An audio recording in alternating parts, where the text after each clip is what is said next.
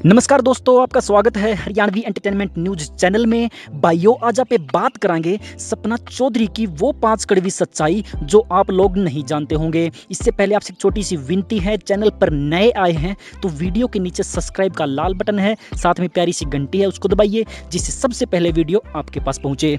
भाइयों, आज हम चर्चा करेंगे, सपना चौधरी का असली नाम क्या है, शादी के नाम पर वो क्यों भागती है, सपना चौधरी किसकी दीवानी है, किसको चाहती है और जहर खाने के पीछे की असली वजह क्या है? और सपना चौधरी राजनीति में किसका साथ देगी?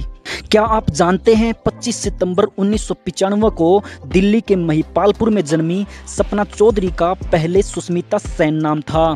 क्योंकि उन्नीस में जब सुष्मिता सेन मिस यूनिवर्स बनी थी, तब उनकी बुआ ने उनका नाम सुष्मिता सेन रख दिया था।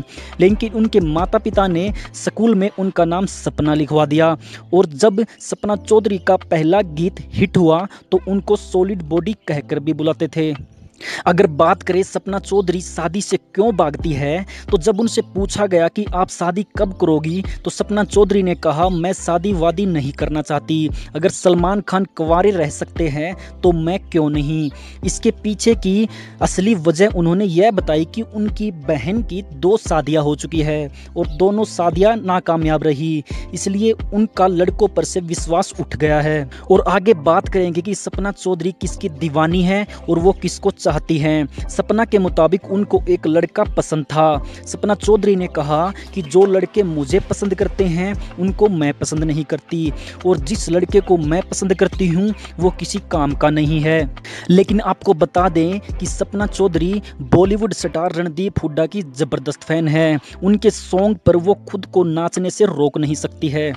और बात करें सपना चौधरी ने जहर क्यों खाया तो सपना ने एक रागनी सांग बिगड़ गया, गाई थी। थी जिसे जाति सूचक रागनी बोल सपना चौधरी पर एफआईआर दर्ज करवाई गई थी, जिस पर सपना ने जहर खाकर जान देने की कोशिश की थी।